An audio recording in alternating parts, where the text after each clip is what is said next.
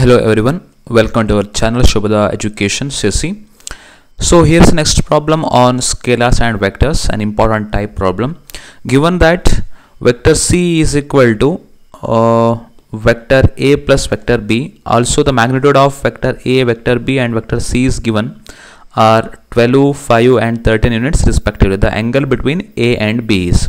Okay, so first of all let me take uh, uh, the angle between them is equal to theta okay theta ಅಂತ ತಗೊಳ್ತೇನೆ ನಾನು ಫಸ್ಟಿಗೆ ಇವಾಗ.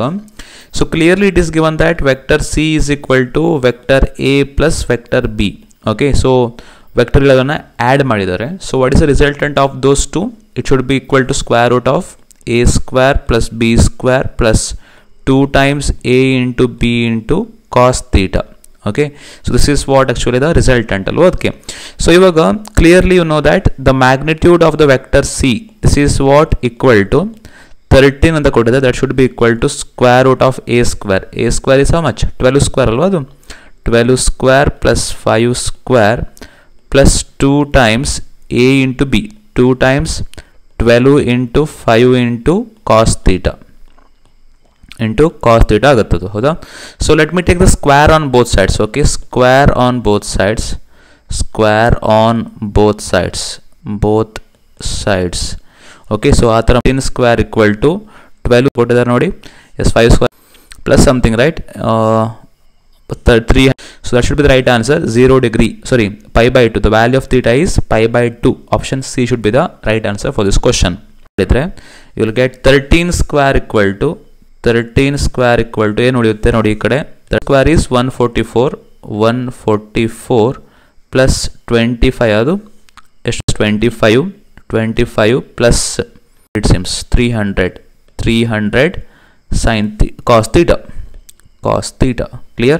So now uh, 13 square is 169 now 144 plus 25 is 169 if it goes to the left hand side it should be minus 169 that will give you 0 that should be equal to 300 cos theta. So that's the reason why I can say that cos theta should be equal to 0 so theta equal to 5 by 2 then at that time the cos theta is going to be 0 okay, so i have introduced you about an academy. Okay Unacademy ಅಂತ ಬಿಟ್ಟು ನಾನು previous video lectures ನಿಮಗೆ ಹೇಳಿದ್ದೇನೆ.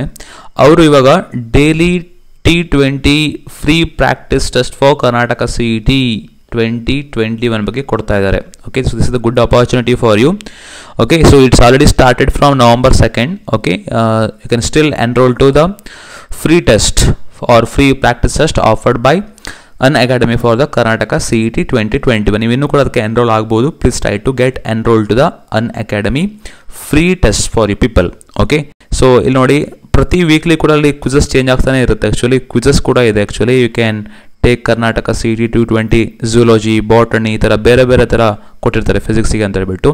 So definitely you download the application learning application of Unacademy from the Google Play Store and subscribe to them so that you'll definitely get the more information regarding the same thing okay let me move to the next problem now next problem move ಆಗ್ತಾನೆ ಇವಾಗ what are the x and y components of a 25 meter displacement at an angle of 210 degree with the x axis anti clockwise ಅಂತ ಕೇಳಿದ್ರಲ್ವ ಇವಾಗ ನೋಡಿ ಇರುತ್ತೆ ಹೆಂಗಂದ್ರೆ so ಅವ್ರೇನು ಕೇಳ್ತಿದ್ದಾರೆ X and Y component X should be minus ಅಲ್ವಾ x should be minus 25 cos theta and y should be plus 25 sin theta. So, option A should be the right answer for this question. So, only thing is how displacement is 25 metre ಅಂತ ಕೊಟ್ಟಿದ್ದಾರೆ. So displacement S equal to twenty five metre ಅಂತ ಕೊಟ್ಟಿದ್ದಾರೆ.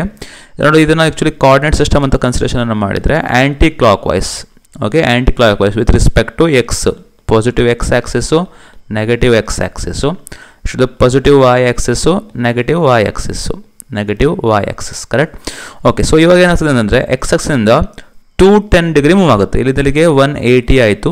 One eighty plus thirty ಅಂದರೆ ಏನಾಗಬೇಕಾಯಿತು? This should be thirty degree this should be thirty degree with X axis ಅಂತ ಆಗಬೇಕಾಯಿತು. So ನಾವು this is the displacement ಹೌದಾ?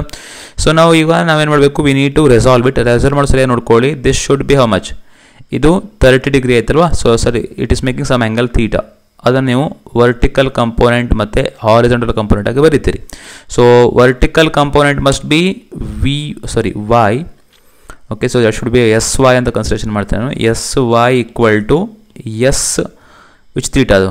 ಅದು ಕಾಸ್ ತೀಟ ಸೈನ್ ತೀಟ ಆಗಬೇಕಲ್ಲ ಅದು? S sine theta and S X must be ಕೊಟ್ಟು ನೋಡಿ, ಯಾವುದಕ್ಕೆ ಇನ್ಕ್ಲೈನ್ ಹಾಕ್ಕೊಂಡಿದೆಯೋ ತಾಕೊಂಡಿದೆಯೋ, ಅದನ್ನು ನೀವು ಕಾಸ್ ತೀಟ ಅಂತ ತಗೊಂಡ್ರೆ ಆಯಿತು. That should be equal to S cos theta ನೋಡಿ S X clearly it's negative ಇದೆ, ಹೆಂಗಂದ್ರೆ minus twenty five cos theta ಅಂತ ಆಗುತ್ತೆ. That is what cos thirty degree it be to minus twenty five cos thirty degree ಅಂತ ಆಗುತ್ತೆ.